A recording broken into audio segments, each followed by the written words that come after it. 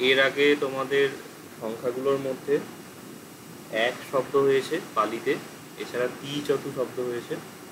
এক শব্দের বৈশিষ্ট্য কি কেউ বলতে পারবে? মানে কি তার ইউনিকনেস কি আছে? মানে স্যার একে স্যার পুল্লিঙ্গ ক্লিবলিঙ্গ স্ত্রীলিঙ্গ তিনটাই হয়। আবার একের এক বচন বহু বচন হয়।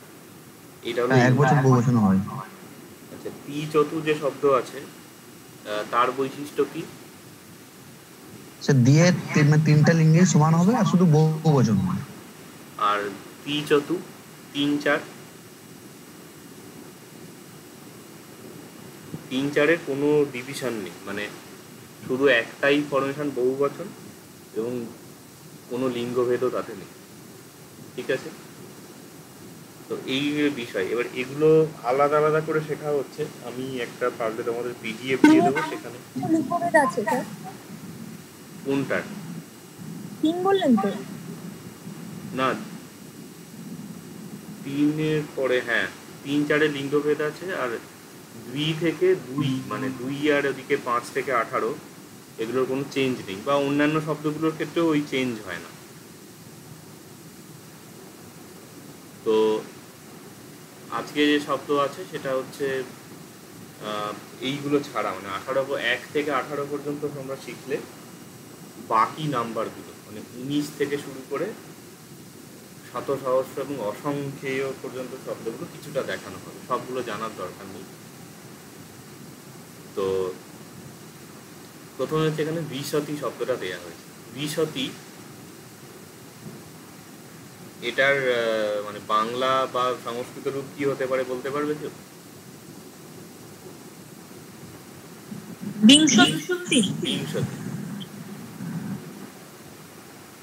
বিংশতি থেকে যে বিশতি হচ্ছে কি চেঞ্জ হচ্ছে বলতে পারবে একটু?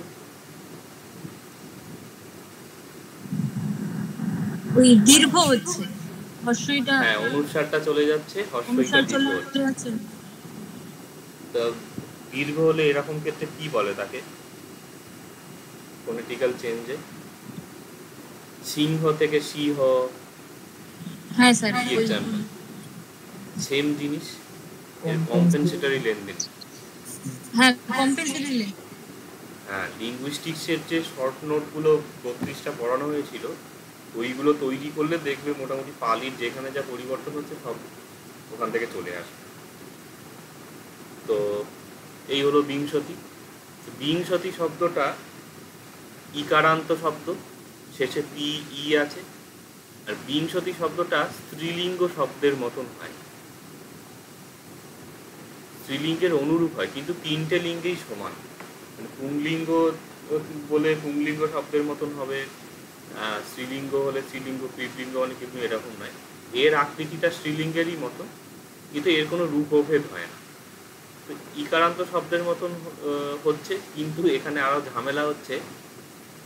এই শব্দটা কিন্তু বহু বচন হয় না। এ আবার শুধু এক বচনের মতনই রূপ হয়। তো এই জন্য দেখো তুলনীয় শালি এক বচন বলে বলা হয়েছে শালি বলতে এখানে যেটা ইকারান্ত শব্দ। ইকারান্ত স্ত্রীলিঙ্গ তার এক বচনের মতন রূপ। ব্যাস, তাহলে ইকারান্ত শব্দের এক বচন হলে বিশতি বিশতিন বিশতিয়া বিশতি ইয়া বিশতিয়া বিশতিয়া বিশতিয়া বা বিশতিয়ম এই হলো।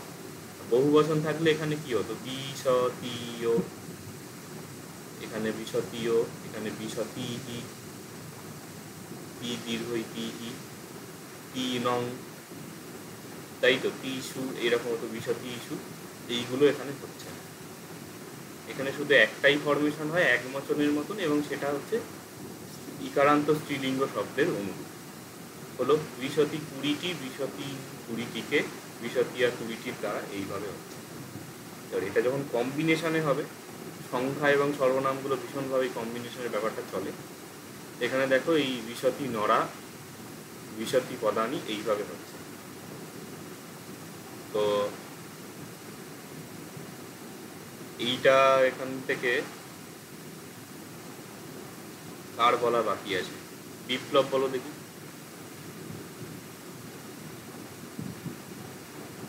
বিশতি নরা মানে কুড়িটি মানুষ বিশতি নরে কুড়িটি মানুষকে বিশতিয়া নরেহি কুড়িটি মানুষের দ্বারা বিশতিয়া নরা নং কুড়িটি মানুষের জন্য বিশতিয়া নরেহি কুড়িটি মানুষের থেকে বিশতিয়ং নরেশু কুড়িটি মানুষের।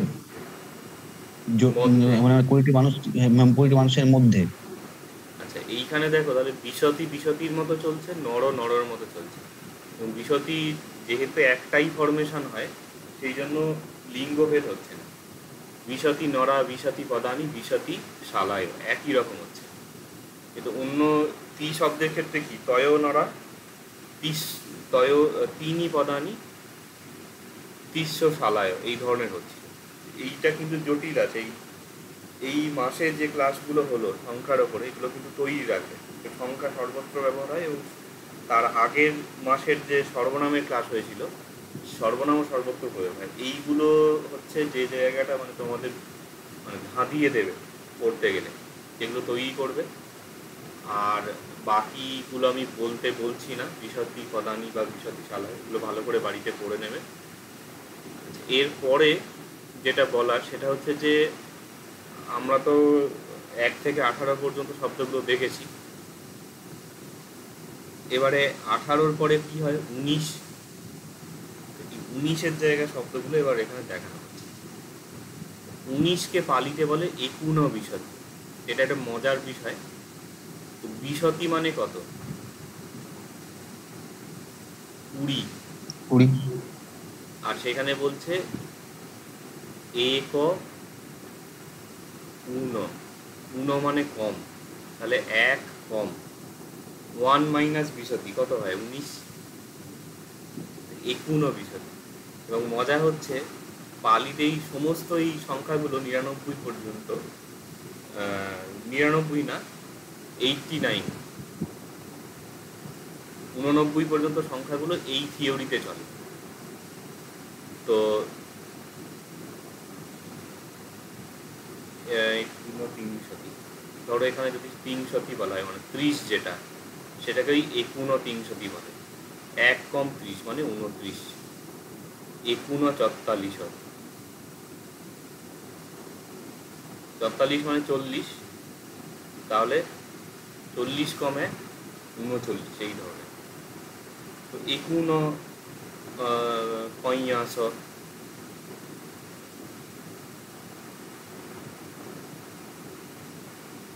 ফর্টি নাইন পঞ্চাশ থেকে এক কম একুনষট্টি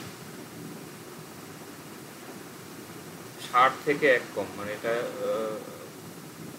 চার নয়, এটা পাঁচ নয়। আচ্ছা সংখ্যা নিয়ে আমি একটা পিডিএফ দিয়ে দেবো। পালি নাম্বারে দেয়া আছে, এছাড়া গ্রামার বইগুলোতেও সংখ্যাগুলো দেয়া থাকে কিন্তু গ্রামার বইগুলোর মুশকিল হচ্ছে বেসিক্যালি এই সংখ্যাগুলো সিরিয়ালি দেয়া থাকে, এক, দুই, তিন, চার, পাঁচ, ছয়, সাত, আট করে। ওগুলো শব্দরূপ বুঝতে অসুবিধা হয় এই জন্য এটাকে এরকম ভেঙে ভেঙে দেখানো হয়েছে। যে যার সিমিলার তাকে সেই হবে। আচ্ছা উ- একুনো বিশতি হচ্ছে উনিশ বিশতি তো আমরা পড়লাম কুড়ি, এবারে হচ্ছে এ- এটা ভুলবশত একে বসতি বিশতি হয়ে গেছে। এটা এক বিশতি হবে মানে একুশ, তারপরে দ্বা বিশতি বাইশ, এটা অনেক সময় বা বিশতিও হয় পালিতে তেবিশতি তেইশ চতুর্বিশতি চব্বিশ পঞ্চবিশতি পঁচিশ ছবিশতি ছবিশতি হয় না, এটা পালিতে ছব্বিশতি হয়। ডবল হয়। এটা বাংলার সঙ্গে মিল পাবে ছব্বিশতি ছাব্বিশ। সপ্তবিশতি অষ্টবিশতি এইরকম। আচ্ছা তারপরে ষট্টি হচ্ছে ষাট সপ্ততি হচ্ছে সত্তর অশীতি হচ্ছে আশি নবতি হচ্ছে নব্বই। এইগুলো হলো, এত সংখ্যার প্রয়োগ তোমাদের পাবে না, কেননা পালি সাহিত্য তো অঙ্ক নয়। যে সব জায়গায় সংখ্যার ব্যাপার স্যাপার আছে, কিছু কিছু সংখ্যার প্রয়োগ হয়। তা সত্ত্বেও এখানে এগুলো দেখে না যে ষট্টি মানে ষাট বোঝায়। তো একষট্টি মানে এক, একষট্টি, বাষট্টি মানে হচ্ছে বাষট্টি ওই দুইয়ের জায়গায় দুইয়ের জায়গায় বা হয়ে যায়। তো ওগুলো নাম্বারের যে পিডিএফ দেবো বা গ্রামারের বই থেকে দেখে নিলে ওটা সংখ্যাগুলো দেওয়া থাকবে। আর এটা নিয়ে খুব একটা চাপ নিতে হবে না, তোমাদের ওই বাচ্চাদের মতন দশ একে এগারো দশ দুয়ে বারো এইরকম করে মুখস্থ করারও প্রয়োজন নেই। একবার রিডিং করে রাখবে ওইটুকুতেই যথেষ্ট। ওই আচ্ছা, একুশ আজকে করলাম। উনত্রিশ বছর বয়সে বুদ্ধদেব গৃহত্যাগ করেছেন হ্যাঁ। তো এই হলো ব্যাপার। তাহলে এখান থেকে এক থেকে আঠারো হয়েছিল উনিশ থেকে আঠাশ পর্যন্ত অর্থবিশতি হয়ে যাচ্ছে। এবার বাকি ষটটি মানে ষাটের কোটা পূর্ণ হচ্ছে সপ্ততি সত্তরের কোটা অশীতি আশি নবতি মানে নব্বইয়ের কোটা পূরণ হচ্ছে। মাঝখানে কি গ্যাপ যাচ্ছে তিরিশ আর চল্লিশ। এর দশক আর চল্লিশের দশকটা বাদ করছে তো সেটার জন্য এই যে তিনশো এবং তার অনুরূপে কিছু শব্দ হয়, সেগুলো হচ্ছে। এবং পঞ্চাশটা এখানে বাদ যাচ্ছে। তিনশো যে শব্দটা হয়, সেইটা একটু মিক্সড রূপ হয়।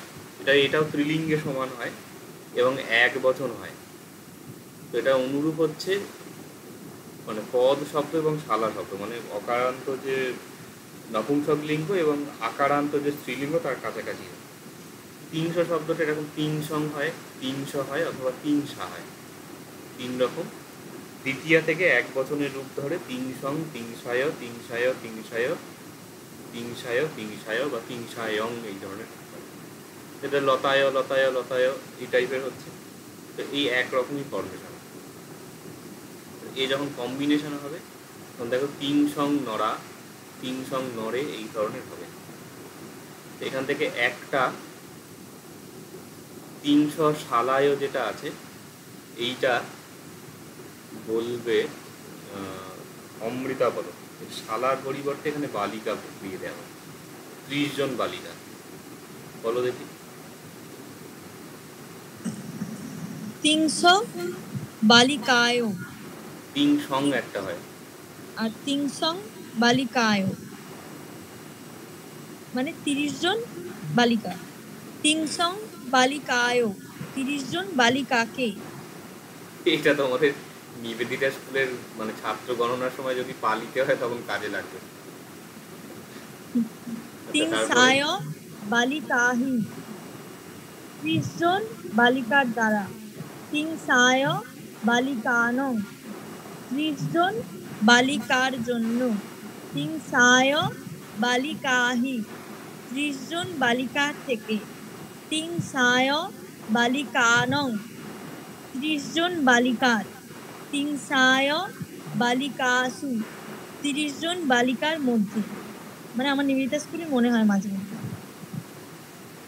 তো এখানে তাহলে হলো, তো বাকিগুলো একটু নিজেরা দেখবে।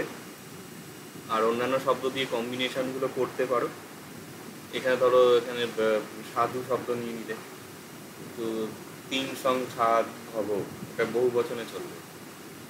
তিন সং সাধ হব তিন সায় সাধু হি তিন সায় সাধু নং তিন সায় সাধু হি তিন সায় সাধু নং তিন সায় সাধু সু এই ধরনের এগুলো চলবে এবং তিনশো শব্দের অনুরূপে বিশতি যে শব্দটা হয়, সেটার আবার বিষ একটা ফরমেশন হয়। রিস হয়ে গেছে, চট্টাল বিষ হবে। চল্লিশ যেটা।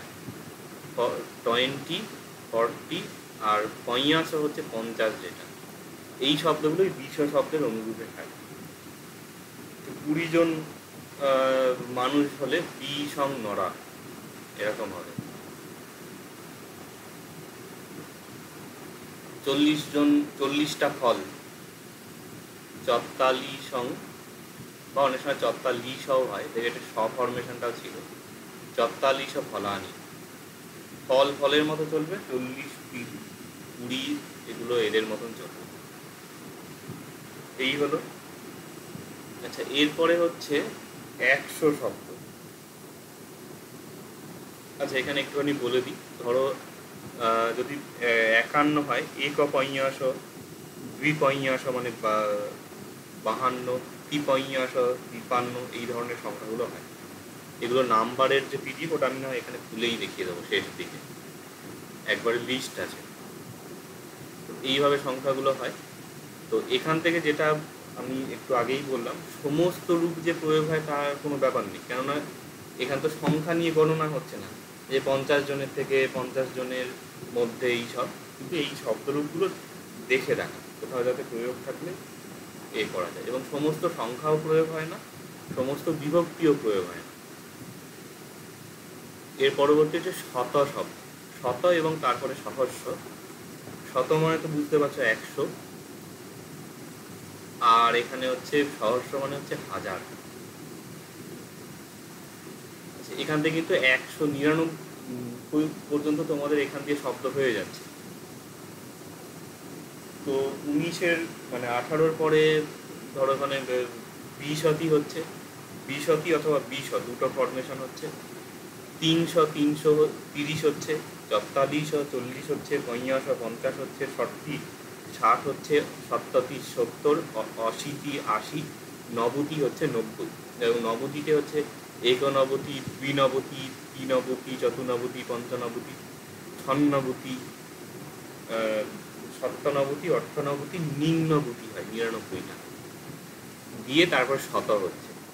তো সব প্রয়োগগুলো সব সংখ্যার ইউজ তোমাদের হবে না। তো তাহলে ওই সংখ্যার পিডিএফটায় দেখলে এসে যাবে। এবারে আমরা একশোতে আসছি। এবার পালিতে ঝামেলা যেটা হচ্ছে, সেটা কি শব্দগুলো কিন্তু শব্দ হিসেবে তো থাকে না, সেটা শব্দ রূপে হয়। শব্দ রূপেতে গিয়ে এ ওর মতন ওর মতন, এই ইকারান্ত ও উকারান্ত ও পুংলিঙ্গ ও ক্লিবলিঙ্গ এইরকম ভাবে চলছে। কার এক বচন হয়, কার বহু বচন হয়, এই ধরনের।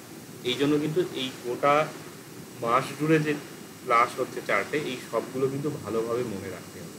নাহলে কিন্তু ভুলিয়ে যাবে। শত শব্দ যেটা হয়, শত আবার এক বচন, বহু বচন হয় দু রকম ফরমেশন এবারে এখানে মজা লাগতে পারে তো শতং মানে হচ্ছে একশো, আর শতানি মানে হচ্ছে একশোর তো মাল্টিপল হতে পারে। ধরো দুশো যদি বলি, তাহলে দুই শতানি, তিনশো তি শতানি, চারশো চতু শতানি এই ধরনের হবে। এই জন্য একশোর বহু বচন হয়। মানে একটা একশো, একশোর ইয়ে মানে মাল্টিপল আছে ইংরেজি যেমন হান্ড্রেডস অফ বলে না, সেই ধরনের। এবারে একশো শত যে শব্দটা হয়, শত অকারান্ত শব্দ, এটা এবার ক্লিবলিঙ্গ শব্দের মতন পুরোপুরি রূপ হয় তাহলে এখানে যদি পদ শব্দ বা ফল শব্দ নেয়, পদ শব্দের কি হয়? পদং পদানি শতং শতানি, পদং পদানি শতং শতানি পদেন পদেহি শতায়ন শতেহি পদায় পদস্য পদানম শতায় শতস্য শতানম পদা পদস্মা পদমহা শতা শতস্মা শতম, এইভাবে চলছে। এখানে নতুনত্বের কিছুই নেই। কিন্তু এখানে যখন কম্বিনেশানে হবে কম্বিনেশন এখানে দেয়া হয়নি। তো ধরো যদি বলা হয় একশো মানুষ, তাহলে শতং নরা এইরকম হবে। একশো মানুষকে শতং নরে একশো মানুষের দ্বারা শতে ন নরে হি, এইরকম হবে। কিন্তু দুশো মানুষ যদি বলা হয়, তাহলে দ্বিশতানি নরা এই ধরনের হবে। এটা কিন্তু জটিল মানে এ এর শব্দরূপে চলবে, ও ওর শব্দরূপে চলবে। তো অনুরূপে সহস্র শব্দ একই হবে, সহস্রং সহস্রানি সহস্রং সহস্রানি সহস্রেন সহস্রেহি, এইভাবে। এই হলো। এবারে আরও কিছু জিনিস এক্সট্রা আমি বলছি। তো তোমাদের তো প্রশ্ন হতে পারে, একশো এককে কি বলে তাহলে? এবার এইখানে গিয়ে একটু জটিলতা আছে। জটিলতা এই অর্থে তোমাদের যে নাম্বারের পিডিএফ এর কথা বললাম, পালি নাম্বারের লিস্ট করা থাকে। এছাড়া প্রায় যে কোনো গ্রামার বইতেই পালি নাম্বারগুলো লিস্ট করে দেয়া থাকে, এক থেকে একদম একশো পর্যন্ত এবং পরের দিকেরগুলো বোধহয় কিছু কিছু লেখা। তো মুশকিল হচ্ছে অন্যান্য পিডিএফে পিডিএফটা দেখালেই এখন সুবিধা হয়।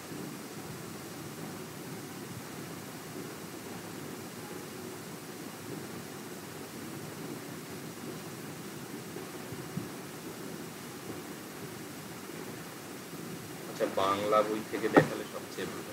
বাংলায় বই হচ্ছে আধুনিক পালি ভাষা শিক্ষাতেই বোধহয় আছে। আধুনিক পালি ভাষা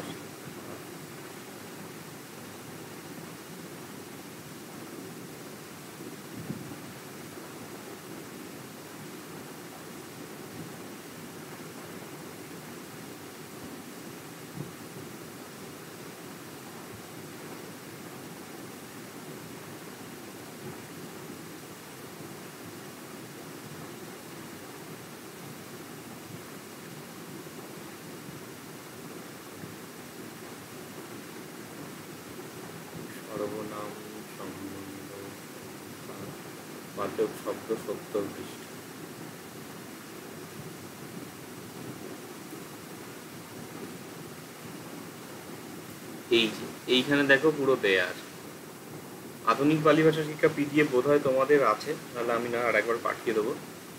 দেখো এক এক, দুই তি চতু এইরকম ভাবে দেয়া হয়েছে পঞ্চাশ ছ সত্য অর্থ, এইখান থেকে কিন্তু শব্দরূপটা কীরকম হবে সেটা বোঝা যাবে এই জন্য তোমাদের এত প্রকরণ করে এটাকে শেখানো এবং কম্বিনেশন সহ।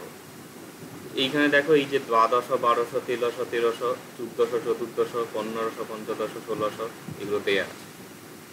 এই হলো, এখান থেকে নাম্বারগুলো সব পেয়ে যাবে, একদম মাঝেগুলো সহ। এখানে নিরানব্বই পর্যন্ত হচ্ছে, একশো পরের জিনিসগুলো এখানে দেয়া আছে। আর এখানে এগুলো সব এরকম খালি থিওরির মতন বলে দিয়েছে, শব্দরূপগুলো করে দেখাই এই জন্য তোমাদের শব্দরূপগুলো দেখানো হচ্ছে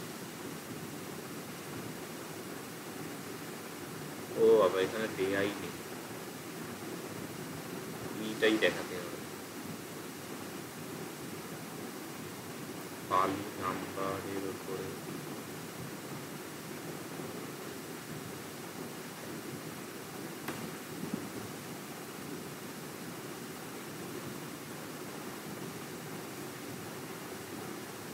এই যে এইটা একটা পিডিএফ আছে, এখানে দেখো এই এক থেকে সব দেয়া আছে। একটা রোমান স্ক্রিপ্টে আছে।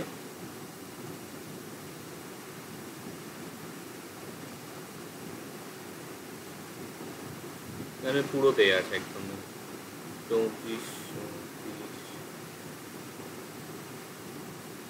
এত তোমাদের কাজে লাগবে না, একবার রিডিং করে নিতে পারো।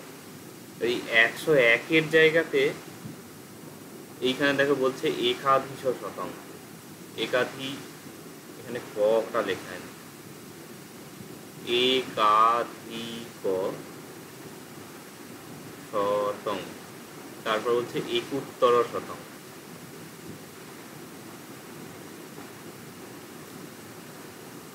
হলো একাধিক শতং মানে এক অধিক শত এক প্লাস একশো, একুত্তর শতং মানে হচ্ছে একের পরেও একশো মানে এক প্লাস একশো।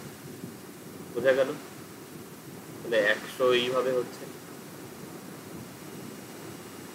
এইবারে এইখানটা একটুখানি জটিলতা আছে। জটিলতার বিষয়টা হচ্ছে একশো একটা তো ঠিক আছে। কিন্তু আমরা যদি বলি একশো দুই আর দুশো, এই দুটোকে কীভাবে দেখানো হবে? এখানে জটিলতার বিষয়টা হচ্ছে এইটাকে অনেক সময় ধরো রে,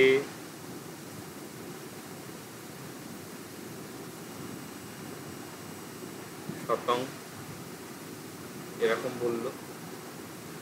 আবার অনেক সময় বলল ধরো দ্বে শতানি।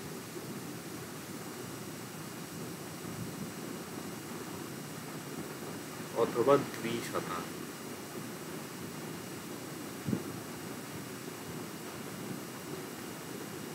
আচ্ছা একশো দুই মানে অনেক সময় এটাকে ভেঙে দ্বে এবং শতং বলে।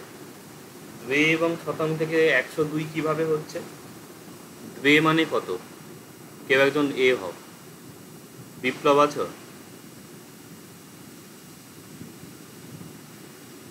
হ্যাঁ স্যার বলুন। দ্বে মানে কত বোঝাচ্ছে পালিতে? দে মানে স্যার দুই। আর শতং মানে? শতক মানে একশো। দ্বে শতং যদি বলা হয় তাহলে দুই প্লাস একশো বোঝাচ্ছে। হলো এটা কিন্তু একটু ইরেগুলার হয় বলে আমি এটা দেখাচ্ছি। এটা তোমাদের বুঝতে সুবিধা হবে। অনুরূপে একশো তিনের জন্য এখানে আমরা বলছি তয় আর শতম। থ্রি প্লাস একশো মানে একশো তিন।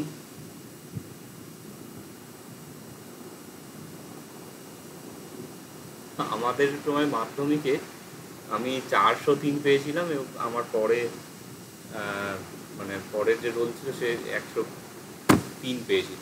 যাই হোক, এবারে এটা আমাদের ইংরাজি একজন স্যার জিজ্ঞাসা করছেন যে কত পেয়েছিল তো এই চারশো তিন, তিনশো তিন বলছি।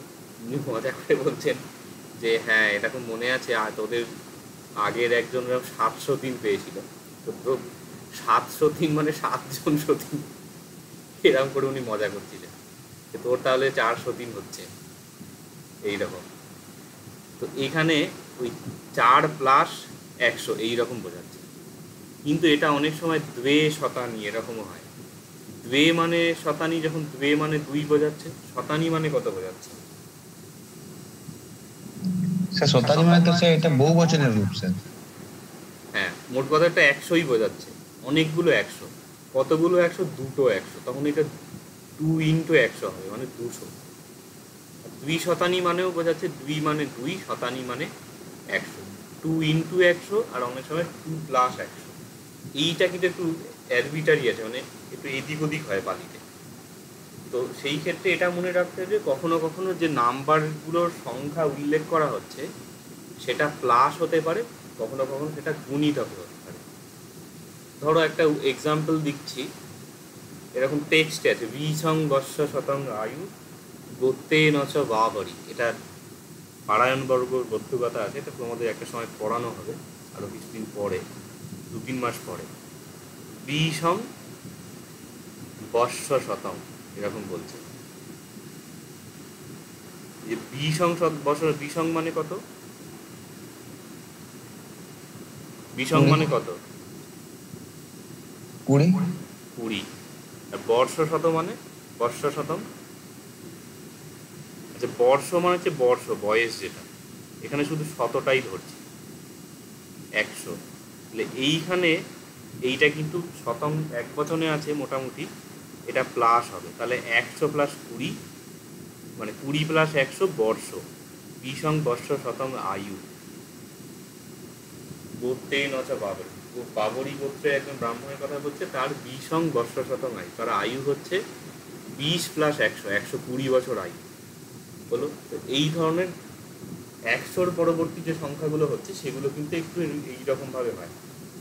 মানে কোনো সময় গুণিতক গুণ হিসেবে ধরা হবে, কোনো সময় যোগ হিসেবে ধরা হবে। হলো, এরপরে তো দুশোর পরবর্তী যদি আমরা বলি, ধরো ওই যে দ্বে শতানি বলছে দুশো তিনই শতানি,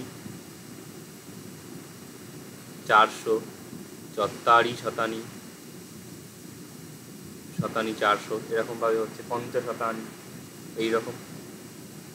এবারে এইটা আবার পালির একটা ইয়ে আছে, সেই পৌরাণিক স্টাইলের বলার মতন। তো কীরকম? ধরো বলছে, পঞ্চ মত্তেহি ভিক্ষু সতেহি আচ্ছা পঞ্চমত্তেহি পঞ্চমত্ত এটা বাংলা কি হবে? বিপ্লবী বলবে।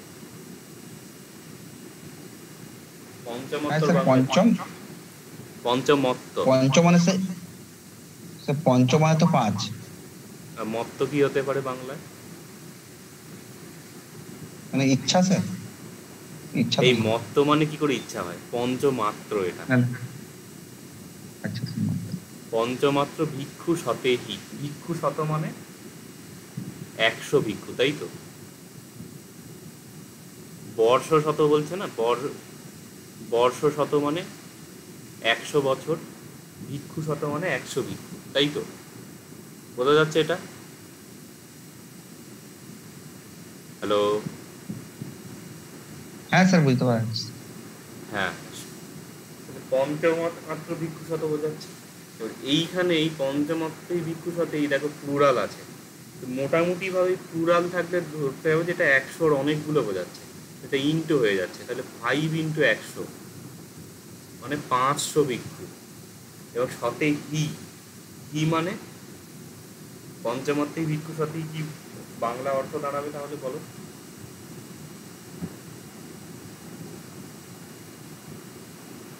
ভি কোথায় হয়? পঞ্চম শব্দরূপে?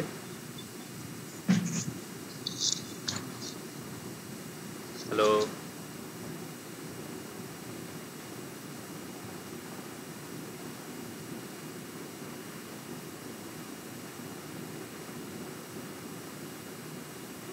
এর আমি জিজ্ঞাসা করছি, আমি বিপ্লবকেই বললাম না যে অন্য হয়ে থাকতে?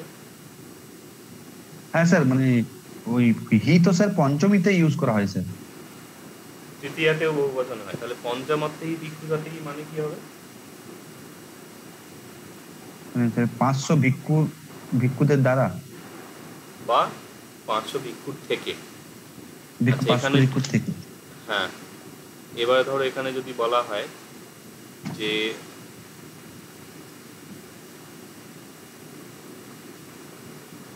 দ্বাদশ মত্তেহি ভিক্ষু সতেহি কি হবে? মানে বারোশো বারোশো ভিক্ষুদের থেকে বা বারোশো ভিক্ষুদের দ্বারা। ঠিক আছে। দ্বাদশ মানে বারো আর ভিক্ষু সতেই মানে একশো গুণ হয়ে যাচ্ছে। আর যদি বলা হয় ঠিক আছে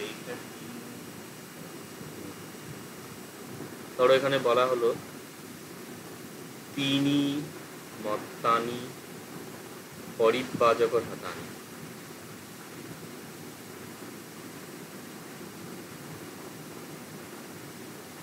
পরিব্রাজক মানে পরিব্রাজক। তিনি মত্তানি পরিব্রাজক শতানি কি অর্থ হতে পারে?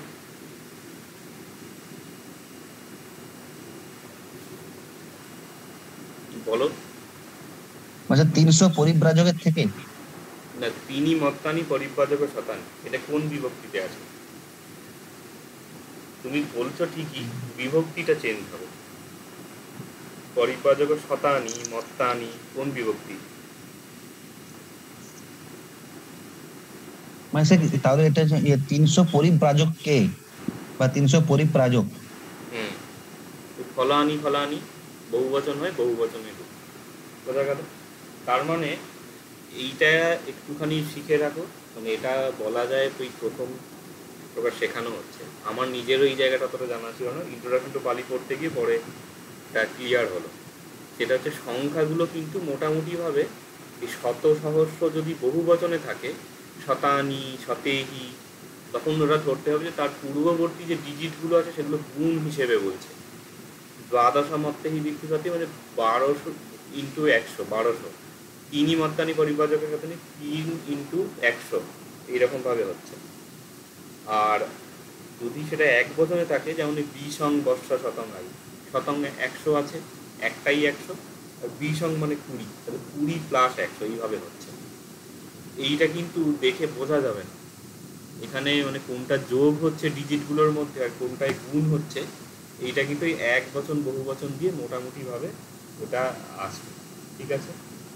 তো তাহলে এখানে মোটামুটি তোমাদের সংখ্যার বিষয়গুলো হলো। আমি যদি এটাকে রিভাইজ করি তাহলে আহ, অমৃতা বলো দেখি। আমি প্রশ্ন করব আনসার দেবো। আচ্ছা পালিতে এক শব্দটা কি বৈশিষ্ট্য হচ্ছে? হ্যাঁ? এক বচন বহু বচন উভয়ই আছে এবং তিনটে লিঙ্গে আছে। আচ্ছা দ্বি শব্দ পালিতে কি হয়? দ্বি দ্বি শব্দের ক্ষেত্রে একটাই মানে একটাই লিঙ্গ একটাই বচন। হুম। ত্রি শব্দের ক্ষেত্রে? স্ত্রী শব্দের ক্ষেত্রে তিনটে লিঙ্গ একটা করে বচন। মানে বহু বচন। চতু শব্দের ক্ষেত্রে? একই। পঞ্চ? পঞ্চটা ওই দ্বি এর মতো হবে। পঞ্চ থেকে অঠারোশো হবে একই রকম। বহু। বচন। বহু বচন সব আচ্ছা এদিকে উনিশ থেকে মানে একুনবিশতি থেকে একেবারে আপ টু নিম্নগতি নিরানব্বই পর্যন্ত। এই শব্দগুলোর কি বৈশিষ্ট্য? ওগুলো তো একটা করে হচ্ছে। হ্যাঁ এগুলো সব একটা করেই হচ্ছে এবং মজাটা হচ্ছে আঠারো পর্যন্ত দুই থেকে আঠারো পর্যন্ত শব্দগুলো বহু বচন হচ্ছে কিন্তু উনিশ থেকে নিরানব্বই পর্যন্ত শব্দগুলো আবার এক বচনে হয়। এই জন্য ওই বিশতিয়া এইরকম হচ্ছে। মানে বিশতি নং হচ্ছে না বিশতিয়া তিন সায় তারপরে চত্তালিশায় পঁয়াশায় ষট্টিয়া সপ্ততিয়া, অশীতিয়া, নবতিয়া, এই ধরনের এক বচনে হচ্ছে। একটাই ফরমেশন এবং কোনো লিঙ্গভেদ নেই। আর বাকি আর একটা বিষয়, কোনো শব্দ হচ্ছে এই আকারান্ত শব্দের মতন হচ্ছে। যেমন তিন সায় তিন সায় তিন সায় এরকম হচ্ছে। কোনো শব্দ, ইকারান্ত শব্দের মতো হচ্ছে বিশতিয়া বিশতিয়া বিশতিয়া ষট্টিয়া, এরকম। পঁয়াশ শব্দটা আকারান্ত পঁয়াশায় এরকম হচ্ছে। এবং জেনারেলি এগুলো একটু স্ত্রীলিঙ্গ ভাষা শব্দ হচ্ছে। তো রূপটা দেখে আশা করি তোমরা রেকগনাইজ করতে পারবে কোনটা ক্লিপলিঙ্গর আকৃতি হচ্ছে, কোনটা পুংলিঙ্গর আকৃতি হচ্ছে। কিন্তু বলা যায় সংখ্যাবাচক শব্দগুলোর নতুনত্বের রূপ কিছু নেই। একমাত্র বলা যায় পঞ্চন্নং দ্বিন্নং ওইটাই সংখ্যাবাচক শব্দের নতুন রূপ। বাকি সবই পূর্ববর্তী শব্দের রূপকে অনুসরণ করছে। আচ্ছা নিরানব্বই এর পরে শত শব্দ শত শব্দের কি বৈশিষ্ট্য? বলো তুমিই বলবে।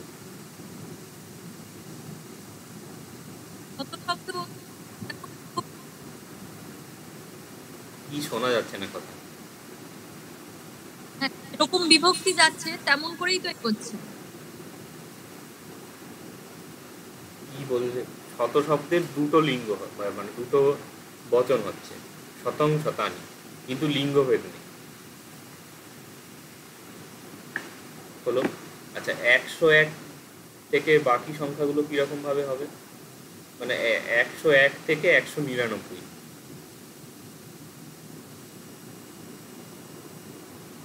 এটা মনে করতে পারছি আচ্ছা একশো এক থেকে একশো নিরানব্বই হচ্ছে ধরো বলা হলো একং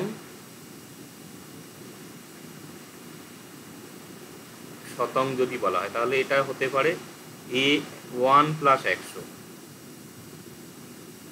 দ্বে শতং দুই প্লাস একশো তয় শতং তিন প্লাস একশো এইরকম হচ্ছে। আচ্ছা দুশো কি হবে পালিতে? এগুলো কি লিখে রাখছো নাকি শুধু গল্প শুনে যাচ্ছ? এগুলো কিন্তু নোটে লেখা নেই। আমি সামনে ইন্ট্রোডাকশন তো পালি খুলে দেখে দেখে বলছি। স্যার দুশো তো তো স্যার মানে তাহলে দ্বি শতানি?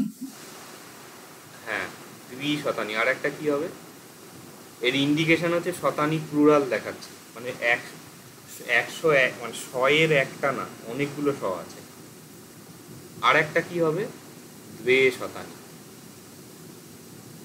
ডিফারেন্স কোথায়? এখানে দ্বে শতং শতং এখানে একটা একশো বোঝাচ্ছে।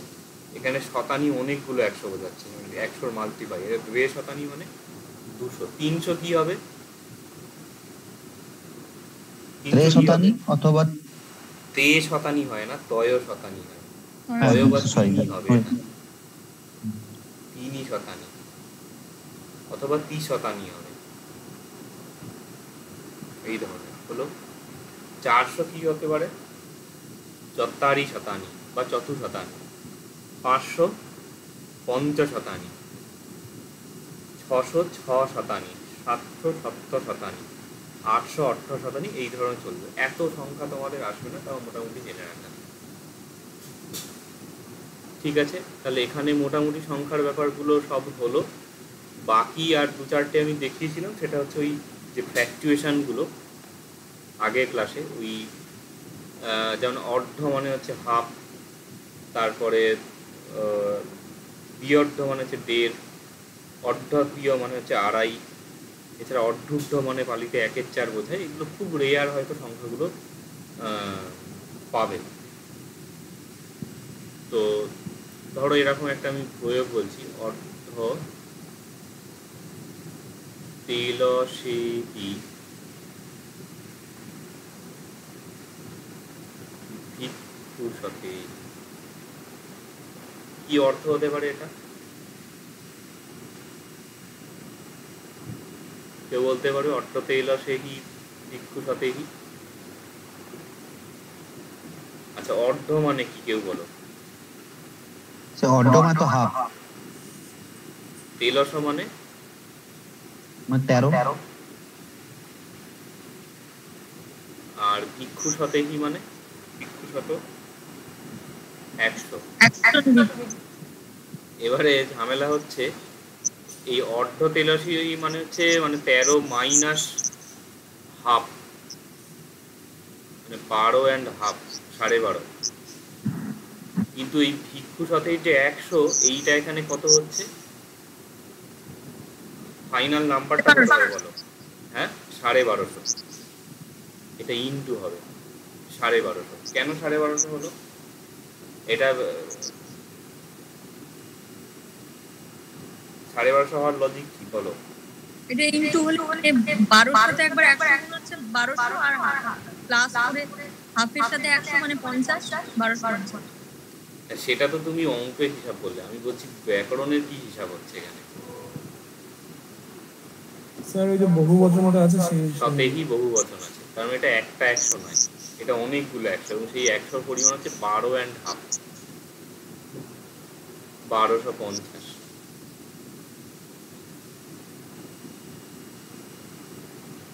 হলো? তো এইরকম তাহলে সংখ্যার ব্যাপারগুলো আসছে। তো সংখ্যার হ্যাঁ এখানে আর একটা যে প্রসঙ্গ উত্থাপন করলাম, সেটা হচ্ছে ফ্যাকচুয়েশনগুলোর ক্ষেত্রে কিন্তু ওই হাফটাকে বিয়োগ হিসেবেই ধরে। বি অর্ধ মানে হচ্ছে বি মাইনাস অর্ধ।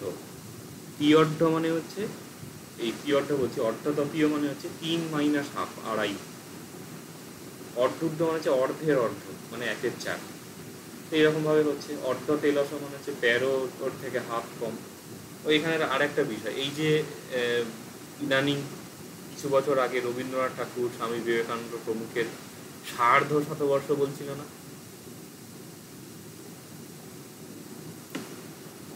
এইখানে কম্বিনেশন হচ্ছে উল্টো মানে সার্ধ মানে হচ্ছে প্লাস ফিফটি আর শত মানে একশো। কিন্তু পালির হিসাবটা হচ্ছে উল্টো মানে এই অর্ধটাকে সবসময় বিয়োগ করার জন্য ওয়ে হচ্ছে মানে পালিতে যদি অর্ধ শত বলে অর্ধ শত মানে হাফ, হাফটা মাইনাস হয়ে যাচ্ছে মানে হাফ গুণ হচ্ছে এই অর্থ হাফ কম একশো, বা একশোর হাফ কম এই অর্থ বোঝাচ্ছে। বোঝা গেল? এটা অর্ধ শত বলতে এখানে পঞ্চাশ হবে। অর্ধ সহস্র মানে সহস্র হাজারের হাফ হবে মানে পাঁচশো, এই ধরনের। এই গেল এখানে সংখ্যার বিষয়। তো এখানে সংখ্যা প্রসঙ্গে কোনো প্রশ্ন আছে?